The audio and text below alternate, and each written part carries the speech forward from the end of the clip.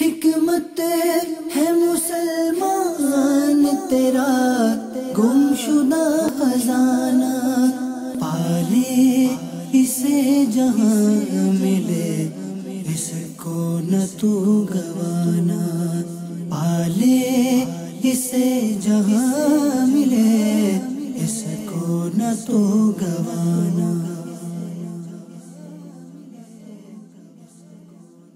الحمد لله رب العالمين والصلاة والسلام على سيد الأنبياء والمرسلين. أما بعد فأعوذ بالله من الشيطان الرجيم. بسم الله الرحمن الرحيم. الصلاة والسلام عليك يا رسول الله وعلى آلك وأصحابك يا حبيب الله.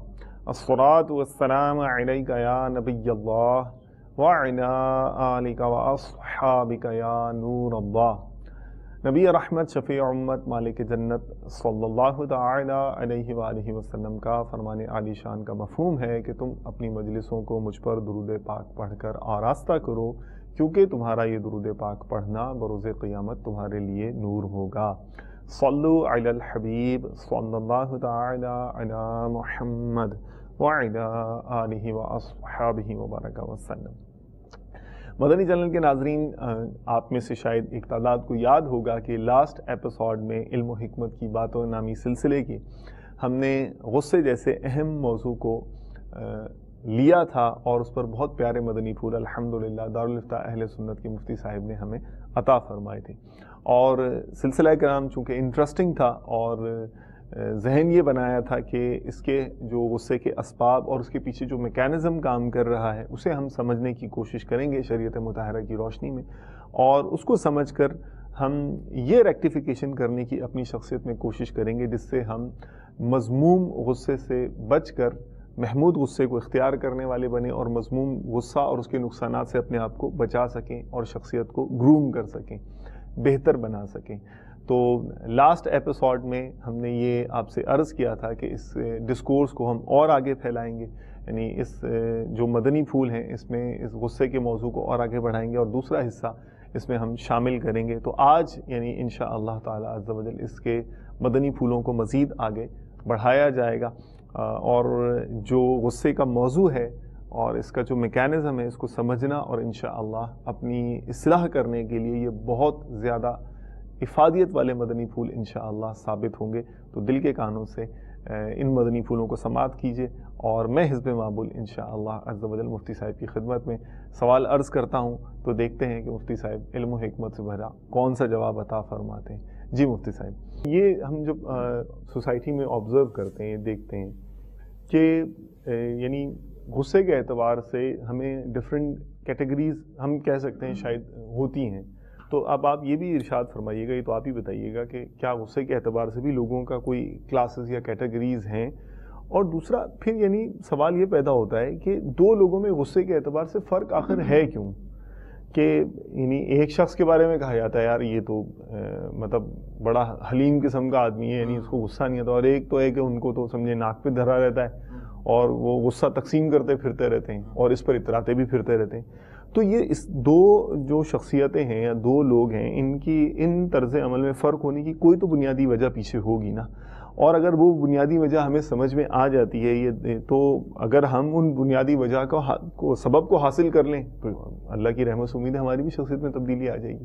اس حوالے سے آپ کیا ارشاد فرماتے ہیں؟ یعنی دیکھیں ایک تو فطری ہوتا ہے غصہ۔ ٹھیک۔ یعنی ایک فطرت میں تو ہے بعض لوگوں کی فطرت میں بہت نرمی اور حلم ہوتا ہے۔ ٹھیک ہے۔ اور بعض لوگوں کی فطرت تو ہوتی ہے۔ ٹھیک ہے۔ لیکن یہ کہ فطرت میں اضافہ بھی ہوتا ہے نا جیسے بچے پیدا ہوتے ہیں تو ان کے ماں باپ کے اعتبار سے نا وہ تربیت کرتے ہیں تو آہستہ آہستہ ان کی تربیت سے ایک نئی فطرت جو ہے وہ چھپی ہوئی ہوتی ہے وہی آگے پروان چڑھتی ہے۔ ٹھیک ہے۔ ورنہ فطرت کے اندر جو کمزوری تھی وہ دور بھی ہو جاتی ہے بعضوں کا تو ایک تو ہے کہ فطرت کے اندر اگر غصہ زیادہ تھا فطری طور پر طبیعت میں غصہ تھا اسے ماحول بھی ایسا مل گیا کہ ہر طرف چیخ چلا اور جناب چنگھاڑ مار پٹائی گالم گلوچ اور ہر ایک غصے کے آدمی جو وہ بھرا ہوا ہے۔ تو اب کیا ہوگا ایک تو فطری غصہ بھی تھا طبیعت کے اندر وہ اور بڑھ جائے گا۔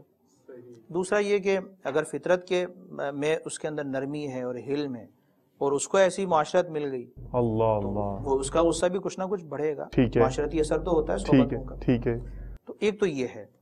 دوسرا یہ کہ اس کی اقسام کیسے بنے گی؟ یعنی غصے میں آنے والے جو لوگ ہمیں نظر آتے ہیں جی، جی۔ اب وہ یہ کہ وہ صحبت اثر کرتی ہے ان کے اوپر۔ ٹھیک ہے۔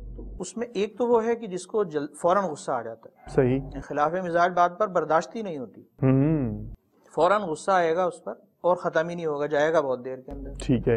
یعنی غصہ آئے گا جلدی اور جائے گا دیر میں۔ یہ سب سے جو ہے وہ خطرناک جس کو کہیں نا آدمی ہے۔ یوں کہہ لیں آپ۔ یعنی اپنے اعتبار سے بھی نقصان ہوگا اس کا دوسروں کے لیے بھی یہ پریشانی کا باعث بنے گا۔ مطلب یعنی ذاتی ایک تو آپ فوراً رہا ہے غصہ تو کسی کے ساتھ بھی چلے گا نہیں اس کا معاملہ۔ دوسرا یہ کہ غصہ ختم ہی نہیں ہو رہا۔ دوسرے کہیں گے بھی ختم جب ہوگا تبھی تو قریب جائیں گے۔ اس کا تو غصہ ختم ہی نہیں ہوگا ٹھیک ہے۔ تو ایک تو یہ کہ فوراً غصہ آئے اور ختم ہی نہ ہو۔ تو غصے کے اعتبار سے جو میں نے کلام کیا نا کہ فطرت میں ہوتا ہے جی، جی، اور جی۔ طبیعت اور کیفیت بن جاتی ہے عقل سے کام ہی لیتی اس لیے بعضوں کا دراز ہو جاتا ہے۔ تو یہ سب سے بگڑی ہوئی شکل ہے۔ اس کا مطلب ہے کہ اس نے اپنی طبیعت اپنی تربیت کی ہی نہیں۔ دینی اعتبار سے اخلاقی اعتبار سے اس نے اپنی تربیت کا اہتمام کیا ہی نہیں۔ یعنی توجہ دی تب یہ جا کر اس کی پوزیشن ایسی ہو گئی۔ ایک آدھ بار کے اعتبار سے نہیں کہہ رہا۔ بعض اوقات ہوتا ہے کسی خاص بات کے اعتبار سے غصہ فوراً آ گیا اور ختم نہیں ہو رہا۔ صحیح۔ وہ تو بات دیکھی جائے گی نا بات کیسی ہے۔ بعض اوقات دینی اعتبار سے بھی غصہ آ سکتا ہے۔ ٹھیک ہے۔ مثلا بات ایسی ہے کہ مثلا والد کو غصہ آ گیا کہ اس کی اولاد میں سے کسی نے کوئی ایسا کام کیا جو اسے شرن بالکل جائز نہیں ہے۔ اور وہ معافی مانگنے کے لیے بھی تیار نہیں چھوڑنے کے لیے بھی تیار نہیں۔ اب اس کے ناجائز بات پر دین کے لیے والد کو غصہ آیا۔ ٹھیک ہے۔ اور اس کا غصہ ختم کیوں نہیں ہو رہا؟ اس لیے کہ وہ ختم نہیں کر رہا اپنی ناجائز بات۔ تو یہ تو اور صورت ہو گئی نا۔ جی، جی، جی، عمومی اعتبار سے جنرل بات کر رہے ہیں اور غالب اعتبار سے کہ اکثر اعتبار سے یہ ہو کہ ہر خلاف مزاج بات پر آ رہے ہیں۔ صرف دینی اور جائز اعتبار سے نہیں کہہ رہے۔ ٹھیک۔ ہر خلاف مزاج بات پر اس کے غصہ آتا ہے فوراً آ جاتا ہے اور وہ ختم نہیں ہوتا۔ ہر ایک سے لڑائی جھگڑا اس کا پیدا ہو جاتا ہے۔ تو یہ سب سے خطرناک پوزیشن ہے۔ اس کے بعد دو پوزیشن اور بنتی ہیں کہ جلدی آتا ہے اور جلدی چلا جاتا ہے۔ یہ بھی خطرناک ہے اس لیے کہ جلدی آنے کے اعتبار سے خطرناک چلا گیا تو اچھی بات ہے کہ جلدی ختم ہو گیا یہ اچھی بات ہے۔ لیکن آیا جلدی یہ یہ ایک اس میں ایپ یہ کہ نہیں خرابی والی یعنی بات۔ پہلی والی میں تو دونوں ایپ تھے نا۔ جی جی جی۔ آیا بھی جلدی اور جا بھی دیر میں دونوں اعتبار سے وہ غصہ اس کے لیے ڈبل جو ہے وہ ضرر پہنچائے گا۔ دوسری پوزیشن یہ کہ آئے گا جلدی اور فوراً چلا گیا۔ تو فوراً چلے جانے کے اعتبار سے تو ٹھیک ہو گیا۔ صحیح۔ لیکن آیا جلدی۔ تو یہ کمزوری ہے کمزوری ہے۔ اس نے کیوں نہیں دور کی ابھی تک؟ فوراً بات پر ہر بات پر تو نہیں آنا چاہیے نا۔ صحیح۔ اب اس کے بعد تیسری شکل کیا بنے گی؟ آئے گا بھی دیر میں اور جائے گا بھی دیر میں۔ اب آیا دیر میں یہ تو ایک اچھی بات ہے کہ فوراً غصہ نہیں آ گیا اس کو۔ لیکن گیا دیر میں تو اس کا مطلب ہے کہ غصہ اس کے پاس رہا نا کافی دیر تک۔ غصہ کی صحبت میں وہ رہا۔ صحیح۔ اور غصہ جو اس کی صحبت میں رہا۔ ٹھیک ہے۔ تو وہ غصے کی صحبت سے ظاہر بات ہے اس کا اثر تو پڑے گا۔ تو پہلی جو یعنی شدید صورت تھی اس کی بنسبت یہ دونوں اشخاص بھی یعنی اچھائی میں نہیں ہے۔ غصے کی تربیت کے اعتبار سے اور اس کو دور کرنے کے اعتبار سے برد باری سے دور ہیں لیکن پہلے والی کی بنسبت کم۔ ٹھیک ہے۔ سب سے اچھی صورت غصے کے بارے میں یہ ہے کہ آئے بھی دیر میں۔ اوکے۔ اور جلدی چلا جائے۔ ٹھیک ہے زبردست۔ ابھی چوتھی صفت کے اندر کتنے لوگ ہیں؟ وہ ہر ایک اپنا جائزہ لے لے کہ مجھے غصہ بہت دیر میں آتا ہے صحیح۔ اور جلدی چلا جاتا ہے۔ اب ایک تو آپ فیصلہ خود کریں گے۔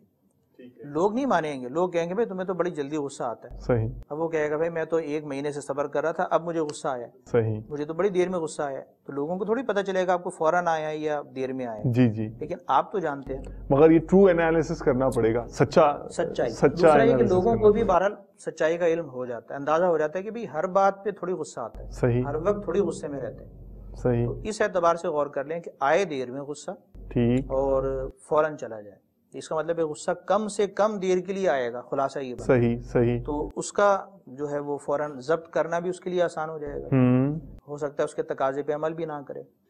جب ضبط کر لے گا تو پھر معافی کی طرف درگزر کی طرف معاملہ فہمی کی طرف بامی فام تفہیم سے معاملے کا کوئی نہ کوئی صلح والی صورت کے اندر حل نکالے گا۔ اس طرف جانا نا۔ جی جی۔ صلح کی طرف جانا۔ جی یہ بھی جی۔ کب ہوگا کہ جب وہ غصے پہ کنٹرول کرے گا۔ صحیح۔ قرآن کریم میں صلح و خیر۔ اللہ صلح میں خیر ہے۔ تو اس طرف بھی کون نہیں جاتا جو پہلی تین کیٹیگری کے اندر ہی کہیں وہ غوطہ کھاتا رہتا ہے۔ تو اتنا ہو کہ غصہ بہت دیر میں آئے اور جلدی چلا جائے۔ اپنے ذاتی اعتبار سے یا عام دنیاوی اعتبار سے؟ ماشاءاللہ جو باتیں ہیں وہ اپنی جگہ پر ٹھیک ہے۔ اب یہ مصب کیٹیگریز تو آپ نے یعنی ماشاءاللہ کلاسیفائی تو کر دیا اور ہمیں یہ بھی آپ نے ویژن دے دیا اور انسائٹ دے دی کہ ہمیں یہ جو چوتھی کیٹیگری آپ نے بتائی سب سے یعنی دیر میں غصہ آئے جس کو اور جلدی چلا جائے فوراً، ہمیں اس کیٹیگری میں اپنے آپ کو لے کر جانے کی کوشش کرنی چاہیے۔ تو میکینزم کیا ہے مفتی صاحب پیچھے؟ یعنی وہ جو شخص ہے، اس کو تو یعنی انسٹنٹلی غصہ آ رہا ہے اور جا ہی نہیں رہا۔ اور جو سب سے سپر کلاس ہے، سب سے جو بہترین کیٹیگری آپ نے ارشاد فرمائی کہ آیا دیر میں، آتا دیر میں اور فوراً چلا جاتا ہے۔ تو یہ والا کیا یہ بن سکتا ہے؟ یہ مدارج طے کر سکتا ہے؟ دیکھیں بالکل کر سکتا ہے۔ یعنی ایک تو ہے نا کہ بات ہو رہی ہے اخلاق کی اور آداب کی اور ہم جو بات کر رہے ہیں وہ اسلامی اخلاق و آداب کی۔ ماشاء اللہ۔ یعنی اس کا جو مرکز ہے وہ تو قرآن و حدیث کے ذریعے سے ہمیں تعلیمات مل رہی ہیں۔ مرحبا جی والقاذمین الغیظ۔ والعافین عن الناس۔ واللہ یحب المحسنین۔ یہ قرآن پاک میں بھی ہے غصہ پینے والے۔ والعافین عن الناس لوگوں کو معاف کرنے والے۔ واللہ یحب المحسنین اور اللہ احسان کرنے والوں کو پسند فرماتا ہے۔ حدیث مبارکہ بھی آپ نے سنی۔ اور اس کے بعد بزرگوں کے اقوال بھی ہیں اور جو غور و خوص کرنے والے ہیں ان کا خلاصہ نچوڑ بھی یہاں بیان ہو رہا ہے۔ اس کا مطلب ہے کہ دین دینی تعلیم اور دینی تعلیم کے مطابق اپنی شخصیت اور اخلاقیات میں جو تبدیلی ہے اس کی تربیت اس کے ذریعے سے تو تبدیلی آ سکتی ہے۔ لیکن جو نہ دینی تعلیم کی طرف آئے اور نہ دینی تربیت کی طرف آئے اگرچہ دنیاوی اعتبار سے بہت پڑھا لکھا ہو وہ کیسے بچ پائے گا؟ اب غصے کے اسباب کے اعتبار سے اگر غور کریں کہ بھی کس کا غصہ زیادہ دیر تک رہتا ہے صحیح۔ اور فوراً آ جاتا ہے اور کس کا غصہ بہت کم آتا ہے اور جلدی چلا جاتا ہے اس کے اسباب کیا ہیں؟ دیر جی۔ تک غصہ کیوں رہتا ہے؟ جی، کیا وجہ کیا ہے؟ وجہ کیا اس پر جی۔ غور کریں گے وہ اسباب دیکھیں گے تو پتہ چلے گا نا کہ کس کو ہمیں چھوڑنا ہے اور کتنے درجے طے کرنے چھوڑنے کے لیے کتنی مشقت برداشت کرنی ہے اور کب ہم ہمارے اندر یہ تبدیلی آئے گی۔ یس یس تو اس میں یہ کہ دین کے دائرے میں جب زندگی آدمی گزارے گا اور سوچ و فکر کرتا رہے گا اللہ تعالیٰ کی ناراضگی سے ڈرے گا۔ اس اس کے خوف سے ہر وقت لرزہ و ترسا رہے گا۔ میری پکڑ نہ ہو جائے گرفت نہ ہو جائے۔ تو اپنے اخلاق سدھارنے کا اسے خود ہی شعور مل جاتا ہے۔ پہلی بات تو یہ۔ دوسرا یہ کہ غصے کے جو اسباب ہیں اس میں ایک بنیادی سبب تکبر ہے۔ اوکے۔ یعنی دوسروں کو اپنے سے کمتر سمجھنا۔ ٹھیک۔ اب جب کمتر سمجھنا شروع کر دیا تو اب کمتر آدمی اگر اس کے برابری کے اعتبار سے بھی کوئی بات کرے گا نا وہ جناب آپ سے باہر ہو جائے گا کہ تم کون ہوتے ہو؟ میرے منہ لگنے والے۔ اوکے اوکے تمہاری حیثیت کیا ہے؟ تم نے دیکھا اپنا منہ؟ آئینہ دیکھ کے آئے ہو؟ صحیح صحیح۔ بات کرنی نہیں آتی۔ تم جانتے نہیں ہو میں کون میں کون یعنی یہ جملہ آپ نے دیکھا ہوگا لڑائی جھگڑے ہو جاتے ہیں کئی بسوں کے اندر۔ دوسرا کہ تم جانتے نہیں ہو میں کون ہوں؟ کون ہو سب جانتے ہیں آپ کون ہیں اور یہ کون ہے یعنی لیکن غصے میں آدمی کہتے ہیں تم جانتے نہیں ہو میں کون ہوں؟ یعنی میں بدلا یعنی لے سکتا ہوں میں کچھ ہوں میں کچھ ہوں اس کا مطلب اب یہ کہ ایک تو ہے تکبر۔ تکبر ہوتا ہے وہ دیکھا جاتا ہے بعض اوقات۔ وہ جب تک تکبر ختم نہیں ہوگا نا اس کی بیجا غصے کی عادت بھی ختم نہیں ہوگی۔ نہیں آپ نے ماشاءاللہ میں یعنی سچی بات ہے کہ میرے ذہن پر ایک یہ جسے کہتے ہیں نا کہ جھٹکا سا لگا آپ نے جو بہت پیارا مدنی پھول ارشاد فرمایا کہ وہ برابری کی بات بھی کر رہا ہوگا۔ تو وہ بھی اس کے خلاف مزاج لگ رہی ہے بات ہے یعنی اس کا مزاج یہ ہے کہ میں تو اوپر ہوں۔ تکبر کیا ہوتا ہے؟ تکبر میں یہ مزاج ہوتا ہے کہ یہ میرے سے نیچے اور میں اس کے اوپر صحیح ہے۔ اگرچہ وہ اس کے جو ہے وہ نیچے ٹھیک ہے تو تکبر تو ویسے ہی حرام ہے۔ رائی برابر تکبر ہوگا وہ جنت میں نہیں جائے گا۔ حدیث مبارک ہے یعنی اس کا مطلب ہے کہ مسلمان ہے اور اس کے بارے میں یہ حدیث کا جو مفہوم ہے وہ یہ ہے کہ ابتدان داخل نہیں ہوگا۔ ٹھیک۔ اب سزا پائے گا۔ جب تک۔ رب تعالیٰ چاہے۔ تکبر کی مذمت میں تو یعنی سینکڑوں حدیث مبارک تو تکبر تو برائیوں کی جڑ ہے۔ یعنی اس کے بعد تو آپ کسی کے ساتھ آپ صحیح طرح تعلقات قائم کر ہی نہیں سکتے ہاں، دینی تعلقات۔ صحیح۔ یعنی نیکی کی دعوت کے تعلقات برائی سے منع کرنے کے تعلقات کسی کی اصلاح کے تعلقات کسی سے فائدہ اٹھانے کے کسی کو فائدہ پہنچانے کے۔ صحیح۔ تو یہ جو نرمی اور جو یعنی یہ جو معاملات ہیں نا دل کی نرمی۔ جی جی۔ یہ جو چیزیں پیدا ہوتی ہیں تب آدمی کسی کے پاس جھکتا ہے کسی سے سیکھنے کے لیے آتا ہے کسی کو سکھانے کی طرف مائل ہوتا ہے۔ ورنہ ایک آدمی بہت کچھ سیکھ گیا بہت کچھ پڑھ گیا جی اور وہ اور اس کے اندر ہے تکبر۔ صحیح اکڑ گئی میں دوسروں کو کیا سکھاؤں؟ بس میں نے سیکھ لیا یعنی اس کی توجہ اپنی طرف ہوگی اللہ تعالیٰ کی نعمتوں کی وہ قدر نہیں کرے گا۔ یہ نہیں دیکھے گا کہ مجھے دیا کس نے اللہ تعالیٰ نے۔ تکبر کس بات پہ کرتا ہے؟ تو ایک تو تکبر اگر وجہ ہے تو پہلے اسے تکبر کا علاج کرنا پڑے گا۔ اس سے کیا ہوگا؟ غصہ خود بخود کم ہو جائے گا۔ دوسرا ہے اسی طرح حسد ہے۔ اوکے حسد یہ ہے کہ دوسرے کی نعمت پر راضی نہ ہونا۔ فلاں چیز اللہ تعالیٰ نے اس کو کیوں دے دی؟ اللہ تعالیٰ اس سے چھین لے۔ یعنی یہ اندر جذبہ پیدا ہوتا ہے۔ زبان سے وہ یہ نہیں کہتا اللہ تعالیٰ نے کیوں دے دی بس وہ یہ کہتا ہے کہ اس سے نعمت زائل ہو جائے۔ اس کے پاس نہیں ہونی چاہیے۔ اس کا مطلب اللہ تعالیٰ کی رضا پر وہ راضی نہیں ہے۔ اللہ تعالیٰ نے اس کو نعمت دی ہے۔ تو اس کو اس کا زوال کیوں چاہتا ہے یہ؟ عام اعتبار سے غالب اعتبار سے جو تعریف ہے جی، جی۔ استثنات میں نہیں جاتے اس لیے کہ حسد ہمارا موضوع بھی فی الحال نہیں ہے۔ لیکن حسد کیا ہے کیا نہیں ہے یہ ناظرین بھی سمجھتے ہیں۔ یہ نعمتوں پر ہوتا ہے عام طور پر۔ کسی نے کوئی چیز لے لی ہے تو اب نعمت پر یہ اپنے اندر یہ خواہش کرتا ہے کہ اس کی نعمت ظاہر ہو جائے۔ مجھے مل جائے یا مجھے ملے یا نہ ملے اس کی نعمت چلی جائے۔ اور ہے دنیاوی اعتبار سے اس کا نقصان پسند کرنا یہ اندر ہے۔ اور اللہ تعالیٰ کی نعمت پر راضی نہیں ہے۔ تو یہ حسد کے اندر اگر ہے تو اسے ہر چیز پہ غصہ آتا رہے گا۔ یعنی کسی کو بھی اپنے سے آگے دیکھے گا تو وہ جناب پریشان غصے میں جل بن جائے گا۔ اپنے آپ پہ غصہ آ رہا ہے جناب اپنی فیملی پہ غصہ آ رہا ہے اپنے والدین پہ غصہ آ رہا ہے۔ بعض لوگ ایسی باتیں کرتے ہیں کہ جب دیکھتے ہیں دوسروں کو دنیا میں آگے جی، جی۔ ہمارے ماں باپ نے تو کوئی بینک بیلنس ہی نہیں چھوڑا مکان ہی نہیں بنایا فلاں نہیں کیا۔ اپنے ماں باپ تک کی بعض اوقات تو والدین فوت ہو جاتے ہیں۔ انتقال کے بعد ان کی مذمتیں ہوتی اس کے پیچھے سبب کیا ہے کہ وہ حسد۔ کنات نہیں ہے۔ حالانکہ مسلمان کی صفت تو یہ کہ وہ کنات اختیار کرے۔ دوسرے سے حسد نہ کرے اس کے لیے بھی دعا کرے۔ اللہ تعالیٰ اس کی نعمت کو اس کے لیے خیر اور بھرائی کا باعث بنائے۔ اور مجھے بھی اس کا حقدار بنائے۔ اور نعمت کی قدر کرنے کی توفیق عطا فرمائے۔ تو ایک تو تکبر اور دوسرا یہ حسد۔ ٹھیک ہے۔ حسد بھی برائیوں کی جڑے تو جب تک حسد ختم نہیں ہوگا نا جی جی۔ یعنی آپ حسد ختم کیسے ہوگا کہ اللہ تعالیٰ کی نعمتوں پر راضی رہنا۔ اس نے جو مجھے دیا ہے اس پہ کنات۔ اس پر بھروسہ توقع۔ اور جو مصیبت یا آزمائش آئی ہے اس پر صبر و تحمل۔ ٹھیک ہے۔ یہ جو کیفیات ہیں دینی اخلاقیات ان کے دائرے میں جب وہ آئے گا تو حسد سے بھی چھٹکارا ملے گا تکبر سے بھی ملے گا۔ اس کا غصہ خود بخود کم ہونا شروع ہو جائے گا۔ اور حدیثوں کے اندر اس کا درس دیا گیا کہ دنیا میں اپنے سے برتر کو مت دیکھو بلکہ کمتر کو دیکھو۔ برتر کو دیکھنے سے ایک ہے نا شیطانی اعتبار سے جی، جی۔ احساس کمتری جنم لے گا۔ احساس کمتری جنم لے گا تو جناب بڑھنے کے چکر میں حسد بھی آ جائے گا۔ اور جناب وہ پتنی ساری حدیں پھلانگے گا۔ اور ایک یہ کہ نیچے والے کو دیکھے گا تو اس کا اطمینان پیدا ہوگا۔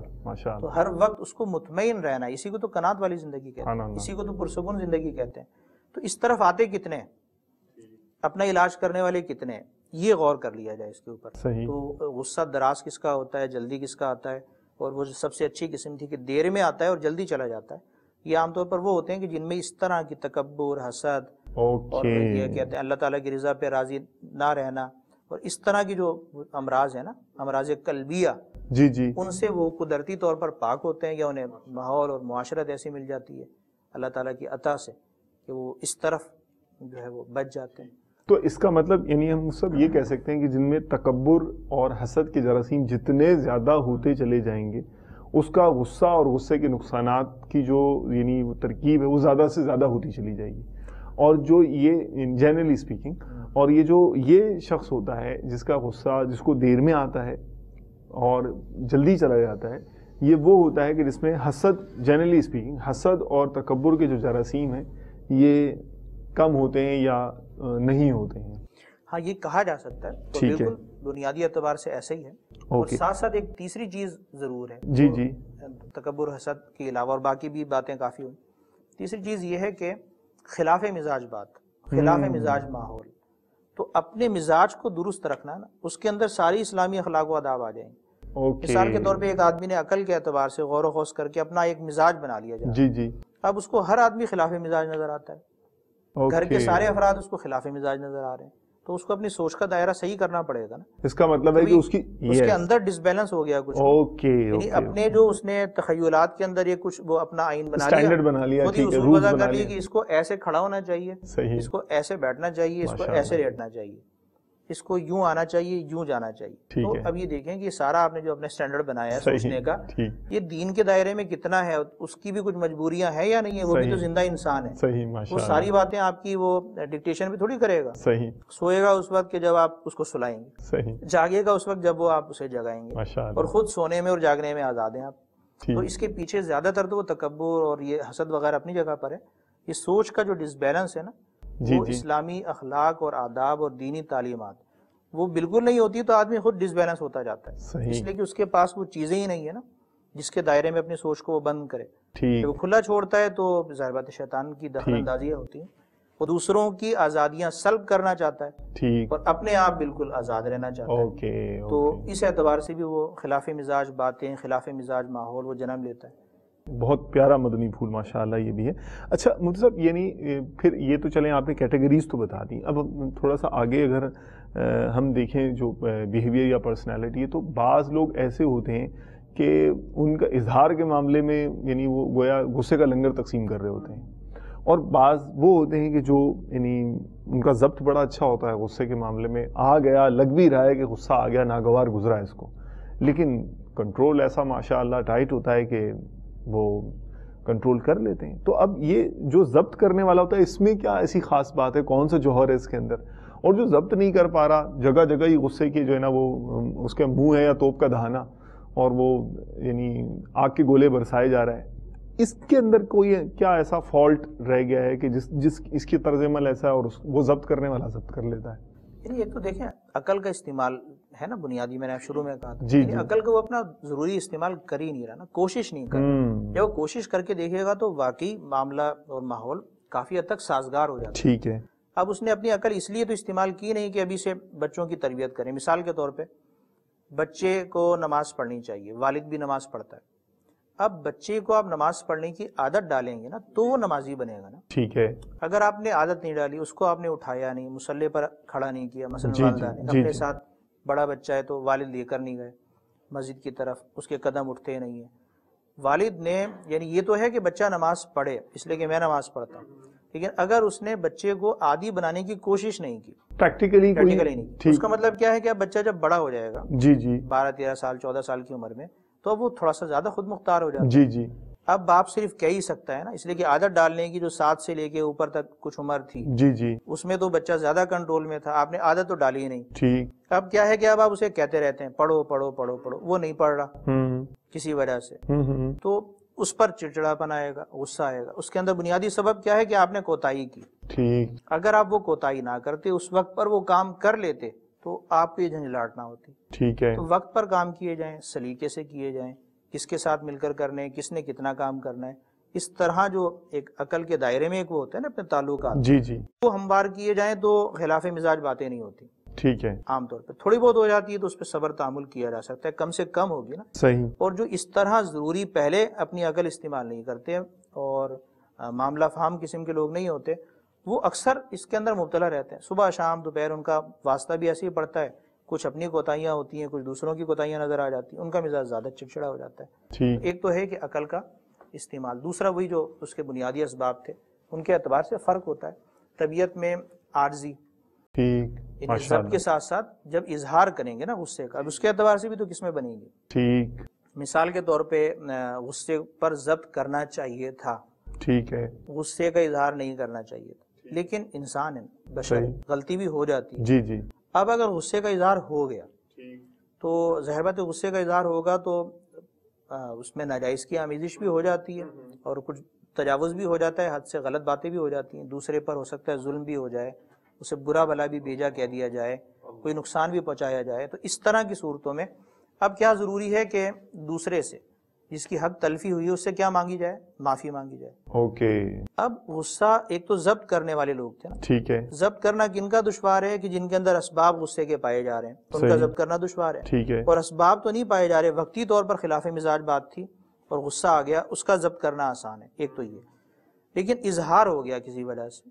اب اظہار کے بعد بھی دو طرح کے لوگ ہوتے ہیں۔ یعنی غصہ کر دیا مثلا کچھ ہو گئی تو تو میں میں ہو گئی لڑائی جھگڑا ہو گیا کچھ کا کچھ ہو گیا۔ ایسے موقع پر تکبر اور حسد والی جو صورت ہے جی جی۔ جو جن کا سبب یہ ہے تکبر اور حسد ان کی کیفیت یہ ہوتی ہے کہ وہ معافی نہیں مانگتے۔ اوکے۔ کیوں نہیں مانگتے؟ وہ کہتے ہیں معافی کس بات کی؟ یعنی ان کا تو مزاج ہی ایسا ہے نا کہ آج اس سے لڑ پڑے کل دوسرے سے بھی لڑنے کا پکا ارادہ ہے ان کا۔ پکا ارادہ اس کے بعد تیسرے سے بھی لڑیں گے وہ کہیں گے روزانہ معافی مانگنی پڑے گی اس کا مطلب پھر تو ہمارا غصہ ہی بند ہو جائے گا۔ صحیح۔ تو شیطان ان کو غصہ بند ہی نہیں کرنے دیتا۔ ٹھیک ہے۔ لگے رہو جناب اسی کام کے اندر آج اس کا ادھر کر دو کل اس کا کام کر دو پرسوں اس کا کام کر دو۔ اب معافی تو مانگنی نہیں ہم نے اس لیے کہ معافی ہے ہی نہیں۔ تو تکبر دوسروں کو یعنی کمتر سمجھنا اس میں یہ ہوتا ہے کہ معافی نہیں مانگتے۔ صحیح۔ اور جن کے اندر تکبر اور حسد اور اس طرح کی جو بڑی اور بری بلائیں ہیں نا دل کے اندر جی، جی۔ امراض وہ نہیں ہوتے۔ دل ان کا کافی حد تک کنٹرول کے اندر ہے ان امراض سے پاک ہے۔ وقتی طور پر آ گیا ایک اشتعال پیدا ہو گیا۔ جی جی۔ اور ان سے حق تلفی ہو گئی۔ طبیعت کے اندر ان کی کیا ہے؟ آجزی ان کی ساری۔ اللہ تعالیٰ کا خوف۔ اللہ۔ تو وہ انہیں بے چین کر دیتا ہے۔ وہ بے چین کرتا ہے کہ بھی دیکھیں غصے میں تو عقل معاف ہو گئی تھی۔ میں نے کر دی غلطی۔ غلطی ہو لیکن یہ کہ میں غلطی باقی کیسے رکھوں؟ یس یہ جو تعلق ضروری ہے یہ ختم ہو جائے گا میری غلطی سے اگر میں معافی نہیں مانگوں گا۔ تو وہ کوشش کرتا ہے صلح کی۔ وہ کوشش کرتا ہے معافی تلافی کی۔ جس پر اس نے غصے کا بیجا اظہار کیا اس سے اسے راضی کرنے کی۔ تو یہ دیکھیں یہ ایک فائدہ ہے۔ یعنی عارضی ان کی ساری اللہ تعالیٰ کا خوف یہ دین پڑھیں گے سمجھیں گے اس کے مطابق عمل کرنے کی کوشش کریں گے تبھی تو دلوں میں پیدا ہوگی۔ ٹھیک ہے۔ اور اگر اس طرف آئیں گے ہی نہیں تو ظاہر بات یہ چیزیں پیدا نہیں ہوتی تو اندر ہی اندر دوسری چیزیں جنم لے لیتی ہیں۔ ٹھیک ہے۔ تو اس اعتبار سے بھی فرق ہوتا ہے۔ تو ہونا یہ چاہیے کہ غصہ خلاصہ یہ بنا کہ بہت دیر میں آئے جلدی جائے بہت کم آئے آ جائے تو اس پہ ضبط کیا جائے۔ اگر وہ ضبط نہیں ہوا اور اس کا بیجا اظہار ہو گیا تو پھر سامنے والے کی جو حق تلفی ہوئی ہے اس میں معافی مانگنے سے دریغ نہ کیا جائے۔ اللہ تعالیٰ کی رضا کے لیے معافی مانگیں اسے راضی کریں۔ اگرچہ آپ جو ہے وہ ہو سکتا ہے کہ دل یہ قبول نہ کرے کہ میں معافی کیوں مانگوں؟ کچھ نہ کچھ تو غلطی اس کی بھی تھی. جی جی. صلح کریں. یعنی صلح والی صورت میں بھی تو یہ ہوتا ہے نا کہ اپنی غلطی کی میں معافی مانگتا ہوں. اور پھر اس مضمون کے بارے میں بھی کہ غصے کے اندر جو میرے سے بیجا غلطی ہوئی ہے میں اس کی معافی مانگتا ہوں. اور آپ سے ہوئی ہے تو آپ کو بھی یہ کرنا چاہیے. تو صلح والی صورت کے اندر بھی معافی تلافی تو ہوتی ہے. اور ایک یہ کہ انفرادی طور پہ اپنی طرف سے پکی معافی. کہ میری طرف سے جو سبب بنائے میں اس کی معافی مانگتا ہوں. اور مجھ سے راضی ہو جاؤ۔ اس سے وہی ہے جو آیت مبارکہ اتفا بلتی یا آحسن جب وہ غصے پہ ضبط کر کے تو وہ کرتا اچھائی برائی کا بدلہ اچھائی سے دیتا۔ اس صورت میں اور اب جب معافی مانگے گا تو اس سے بھی دل نرم پڑتا ہے اور صلح ہو جاتی ہے۔ ٹھیک ہے۔ بہت پیارا آپ نے کنکلوڈ کر دیا اور خلاصہ آپ نے بیان فرما دیا۔ میں چاہوں گا کہ وہ جو خلاف مزاج بات کے حوالے سے مدنی پھول تھا نا اس کو بھی مجھ سے کنکلوڈ کر دیجیے۔ کہ آپ نے یہ فرمایا تھا کہ ایک مزاج یہ بھی ہوتا ہے کہ خلاف مزاج بات اس نے اپنا ذہن میں ایک رولز اینڈ ریگولیشن اور ایک آئین بنا لیا اور ساری دنیا کو اسی جو ہے نا چوکھٹے کے اندر فٹ کرنے کی کوشش کر رہا ہے۔ اس کے لیے کیا مدنی پھول ہے کہ اس حوالے سے کیا کرے گی اپنی عقل کے مطابق ایک وہ بنا کے نا دائرہ اس کے اندر سب کو فٹ کرنے کی بجائے اپنی عقل کو دین کے اندر فٹ کر لے۔ سبحان اللہ۔ دین کے دائرے میں اگر یہ پہلا آدمی فٹ کر لے پہلی بات تو ایک تو فٹ ہو گیا نا۔ صحیح۔ اب وہ کہے گا دیکھو میں تو ہو گیا فٹ دوسرے فٹ نہیں ہو رہے۔ ٹھیک ہے۔ تو دوسروں کو فٹ کرنے کی کوشش کرے صحیح۔ یہ تو کام ہے امر بالمعروف اور نہی عن المنکر کرنا۔ ٹھیک ہے۔ اب یہ کہ ایک آدمی فٹ ہو گیا۔ دوسرا فٹ نہیں ہو رہا۔ تو دوسرے کو بھی دین کا درس دے۔ ٹھیک ہے۔ دین کی ان بنیادی اچھائیوں کی طرف ان کو دعوت دے۔ آہستہ آہستہ ان کو ان کی اہمیت افادیت بتائے کہ یہ کتنی مفید چیزیں ہیں۔ ٹھیک ہے۔ انسانی شخصیت کے لیے۔ ان سے دور رہنا کتنا مضر ہے۔ جی جی۔ اگرچہ آدمی امیر کبیر ہو دنیاوی اعتبار سے لاکھ پڑھا لکھا ہو لیکن اگر وہ بے سکون زندگی گزار رہا ہے۔ اور غصے کی ان اسباب کے اندر جو ہے وہ پل رہا ہے اور غصہ اور بڑھ رہا ہے۔ اپنی عقل اس کی معاف ہو گئی تو دنیاوی زندگی بھی بازوں کا تجیرن بن جاتی بے سکونی ہو جاتی۔ جی ہاں۔ تو اس طرح جب وہ کرے گا نا کام ایک تو یہ ہوگا اس کو اپنے ہم ذہن لوگ ملیں گے ٹھیک ہے۔ مزاج لوگ ملیں گے۔ تو خلاف مزاج بات یا ماحول سے آدمی کب بچے گا؟ جب وہ پہلے خود بچے گا پہلی بات۔ جب وہ اپنے آپ کو دیکھے گا نا کہ میں اپنا مزاج دینی بناؤں اب اپنے مزاج کے مطابق لوگوں کو دیکھے ٹھیک ہے۔ ایسا نہیں ہے کہ وہ اکیلا ہی ہے دوسرا کوئی نہیں ہے۔ جی جی۔ دوسرے بھی اسی طرح اپنے آپ کو دین کے دائرے میں ضم کرنے والے لوگ ہیں اور ان باتوں کو سمجھنے والے ہیں۔ ایک نے نہیں کیا تھا تو اس کی انفرادی کوشش سے ہو سکتا ہے بہام افام تفہیم سے دونوں کے جو ایک ہیں اصول اور قوانین ایسے بن جائیں کہ وہ اپنی عادتوں کو بھی تبدیل کر لے یہ اپنی عادتوں کو کچھ جھکائے ایک جائز حد تک۔ جی جی۔ یعنی صلح جو بھی ہوگی وہ کس کے دائرے میں ہوگی؟ دین کے دائرے میں۔ اوکے۔ ناجائز بات کی صلح تو کوئی اسلامی صلح نہیں ہے۔ ٹھیک ہے۔ تو ناجائز بات پر گناہ کی بات پر تو یہ صلح نہیں ہو سکتی کہ میں گناہ کر لوں گا تمہارے کہنے پہ۔ تو میرے کہنے پہ یہ کر لو۔ ایسا تو نہیں ہوگا نا۔ تو دین کے دائرے میں زندگی گزارنے کی کوشش یہ کرے گا سامنے والے سے بھی ایسی توقع بھی رکھے گا اسے درس بھی دے گا اور ضروری تعلق جس سے جتنا جوڑنا ہے۔ جی جی۔ ہر ایک کے پاس آدمی چوبیس گھنٹے تو نہیں رہتا۔ ٹھیک ہے۔ کہیں دو گھنٹے رہتا ہے کہیں آٹھ گھنٹے رہتا ہے کہیں جناب پانچ گھنٹے رہتا ہے۔ کسی سے مہینے میں ایک بار ملتا ہے۔ کسی سے سال میں ایک بار ملتا ہے کسی کے ساتھ زندگی بسر کرنی پڑتی ٹھیک ہے۔ کئی بھی رشتے دار ہوتے ہیں۔ تو ان کا آپس کا ان میں آپس میں ذہنی آہمنگی ہونی چاہیے۔ اور وہ کیسے پیدا ہوگی؟ دینی تعلیمات سے ہوگی اچھائیوں کے در سے ہوگی۔ تو قرآن کریم احادیث مبارکہ صرف پڑھنے کے لیے نہیں سننے کے لیے نہیں سمجھنے کے لیے۔ جس طرح بھی کافی گفتگو ہماری ہوئی۔ جب سمجھیں گے تو ایک دوسرے کو یہ نصیحت کا درس اگر جاری رہے گا تو آہستہ آہستہ جب وہ ہے نا فضا ہموار ہو جی، جائے جی، گی جی، تو ذہنی آمنگی بھی پیدا ہو جائے گی خلاف مزاج باتیں ہونا بھی کم ہو جائیں گی۔ اور اگر ہوگی بھی تو قلیل مقدار میں ہوں گی صبر کرنا وہ آسان ہو جائے گا۔ دنیاوی جو ٹرانزیکشن افیئرز ہیں اس کے حوالے سے ہیں جائز امور اور اس کے حوالے سے بھی بعض اوقات جیسے ذہن ملتا نہیں ہے۔ تو اس پر بھی یعنی دوری یا کوئی روکھا روکھا پن اس طرح کی کیفیت ہو جاتی ہے۔ ان دلوں کو ملانے کے حوالے سے کوئی مدنی پھول۔ دنیاوی سے مراد یعنی جو مطلب بزنس ہے کمرشل ہے یا پروفیشنل ریلیشن شپس ہیں ان کے حوالے سے عرض کر رہا ہوں۔ اس میں یہ ہے کہ تعلق کے اعتبار سے دیکھا جائے گا۔ اب ایک آدمی کے صرف بزنس کا تعلق ہے نا۔ جی جی۔ بزنس کی چند باتیں ہوتی ہیں جس کے اوپر بزنس چل رہا ہوتا ہے۔ ٹھیک ہے۔ اور چند میٹنگز ہوتی ہیں چند وہ کام ڈیوائڈ ہو جاتے ہیں اس کے مطابق چل رہے ہوتے ہیں۔ جی۔ جی تو وہ ان باتوں کے اندر ابہام نہ ہو ٹھیک ہے۔ ہر بات بالکل واضح طور پر کلیئر ہو۔ اپنی باتیں اپنے کام اور اپنی سوچ بالکل اور اپنے اپنے اوپر دوسرے کا اعتماد۔ جی جی۔ جب آپ سارے کام بالکل سیدھے سیدھے کرتے رہیں گے اور دوسرے کو سمجھائیں گے دیکھیں میرا کام کتنا صاف اور شفاف ہے۔ کہیں جھول نہیں ہے کہیں بہام نہیں ہے۔ جی جی۔ کہیں پوشیدگی نہیں ہے۔ ٹھیک ہے۔ تو ایک دوسرے پر دونوں کا اعتماد بحال ہو۔ ٹھیک ہے۔ جب دونوں کا اعتماد بحال ہوگا تو وہ جو کاروباری ایک ہے وہ جو تعلق ہے جی جی۔ وہ تو اپنی جگہ پر چلتا رہے گا۔ ذاتی زندگی ذاتی مزاج وہ اپنی جگہ پر ہے۔ ٹھیک ہے۔ محدود اعتبار سے اور محدود تعلق کے اعتبار سے تو بڑوں بڑوں کا مزاج سیدھا ہو جاتا ہے۔ ٹھیک۔ تو یہ کام کوئی مشکل نہیں ہے۔ مشکل کام ہے کہ جو زیادہ ٹائم جس کے ساتھ گزارنا ہے نا۔ ایگزیکٹلی۔ تو جیسے شوہر اور بیوی جی، وہ جی۔ ساتھ گزاریں گے۔ گھر کے بہن بھائی جی، ان کا تعلق زیادہ ہوتا ہے۔ اسی طرح بعض آفیسز ہوتے ہیں ان کے اندر سات لوگ رہتے ہیں جس کی یہ ماتحت ہے یا جو اس کے ماتحت ہے۔ ان سے تعلق تو صبح شام کا ہے نا۔ بہت ساری عادت و اتوار ایسی ہوتی ہیں کہ جناب جو ماتحت ہے ان سے پوچھیں تو وہ اپنے جو بڑا ہے آفیسر ہے اس کی برائیاں کر رہے ہوتے ہیں۔ اور جو نگران ہے یا افسر ہے وہ اپنے ماتحتوں کے بارے میں بس وہ کہتا رہتا ہے کہ یار یہ یہ کرتے ہیں وہ کرتے ہیں۔ صحیح۔ تو یہ یہ بھی ختم ہو سکتا ہے۔ یہ کیسے ختم ہوگا کہ وہ یک طرفہ اچھائیوں کا اصول اپنائیں۔ کوشش کرے تو بہت ساری چیزیں تو اس کو سمجھ میں آ جائیں گی ایسی کہ اس کے ذہن کے مطابق درست ہوتی جائیں گی۔ کچھ ہیں تو ان سے درگزر کرنا پڑتا ہے۔ تو کوشش کرنے سے فائدہ ہوتا ہے۔ اگر اصلاح کی کوشش ہی نہ کی جائے تو ظاہر بات ہے پھر وہ اس کا اس کے اثرات جو ہیں وہ پھر اپنی ذات کو بھی خراب کر دیتے ہیں۔ ہر بات کو ضبط کرنا پھر آسان بھی نہیں ہوتا۔ پھر ماحول بازوں کا ٹوٹ جاتا ہے۔ نکاح کی صورتوں کے اندر طلاق ہوتی ہے یا نہیں ہوتی؟ جی جی۔ میاں بیوی کے اندر۔ وہ طلاق کی نوبت کیوں آتی ہے؟ اس کا مطلب ہے کہ ان کے اندر ذہنی اہم آہنگی پیدا ہی نہیں ہو رہی۔ ایک دوسرے کو قبول ہی نہیں کر پا رہے۔ ایک دوسرے کی مرضی کو وہ جانتے ہی نہیں ہے مرضی پر چلنا ہی نہیں چاہتے۔ شوہر اس کو یعنی اس کی بیوی کی حد تک وہ کتنی باتیں اس کی قبول کر سکتا ہے ایک حد تک۔ یعنی اس کو کتنا خوش رکھ سکتا ہے ایک دائرے کے اندر۔ اور بیوی کو اس کی کتنی اطاعت کرنی چاہیے۔ اس کی کتنی باتیں کرنی چاہیے۔ تو یہ آپس کے اندر یہ غور و خوض نہیں رہتا اس پر توجہ نہیں ہوتی تو وہ وقت دراز ہوتا جاتا ہے اور پھر یہ آتی ہے نوبت ایسی کہ اتنا زیادہ انتشار پھیل جاتا ہے کہ وہ کسی طرح صلح والی صورت باقی نہیں رہتی۔ کوئی جوڑنا بھی چاہتا ہے ملانا بھی چاہتا ہے تو وہ ملتے نہیں ہیں۔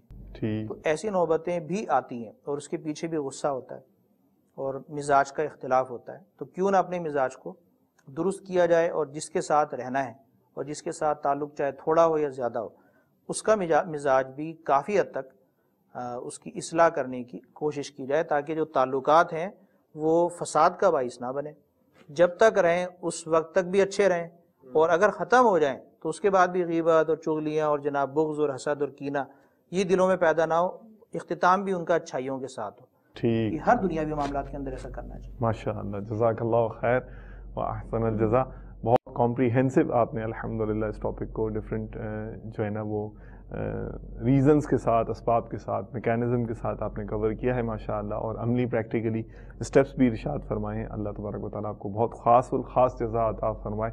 اور میں مدنی چینل کے ناظرین سے انشاءاللہ یہ جو تربیتی ورک اچھا، شاپ ہے علاج کے حوالے سے بھی عام طور پہ لوگ وظیفہ بھی پوچھتے ہیں نا کہ جی، کریں جی، کیا فوراً جی، ایک تو میں نے اسباب کا تو بتایا کہ ان کا علاج کریں گے تو اس کا علاج ہو جائے گا۔ مشہور حدیث مبارک ہے چونکہ ایک سلسلے میں جی جی جی ارشاد فرما ایک تو حدیث مبارک میں یہ ہے کہ شیطان کی طرف سے غصہ۔ ٹھیک ہے۔ تو شیطان موقع کی طاق میں رہتا ہے کہ کب موقع آئے اور میں اس کو وہ کر دوں جذباتی۔ تو حدیث کے اندر بھی ہے کہ اعوذ باللہ من الشیطان الرجیم پڑھیں تاکہ یہ شیطان کے جو بد اثرات ہیں یہ دور ہو جائیں۔ اور ایک میں ہے کہ وضو کر لیا جائے۔ ایک نسخہ یہ ہے کہ جب شیطان کی طرف سے تو وضو کر لیا جائے۔ اور اسی طرح ایک ہے کہ وہ اگر کھڑا ہے تو بیٹھ جائے اور بیٹھا ہے تو لیٹ جائے یعنی زمین سے چپٹ جائے۔ چپٹ جائے۔ اس سے کیا ہوگا کہ وہ عارضی اور ان کی ساری والی جو کیفیات ہیں وہ پیدا ہوں مرحبا۔ تو ان نسخوں پر بھی عمل کیا جائے تو انشاءاللہ ضرور فائدہ ہوگا۔ ماشاء اللہ مرحبا۔ تو ٹھیک یعنی غصہ اس کے اسباب اور لوگوں کی کیٹیگریز اور ان کو کیا کرنا چاہیے اور کیٹیگریز کے اندر ہمیں کون سی کیٹیگری میں اپنے آپ کو فال کروانا ہے، کہاں جانا ہے اور اس کا عملی نسخہ کیا ہے اور پھر اس کے اسباب اور علاج، یہ الحمدللہ ان سلسلوں میں ہم نے سیکھا ہے۔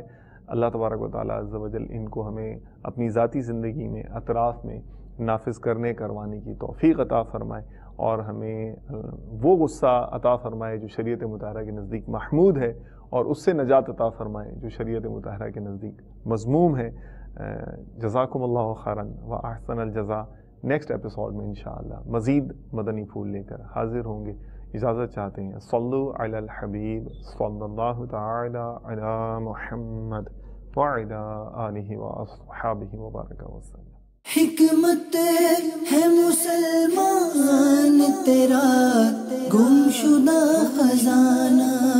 پالے اسے جہاں ملے اس کو نہ تو گوانا پالے اسے جہاں ملے اس کو نہ تو گوانا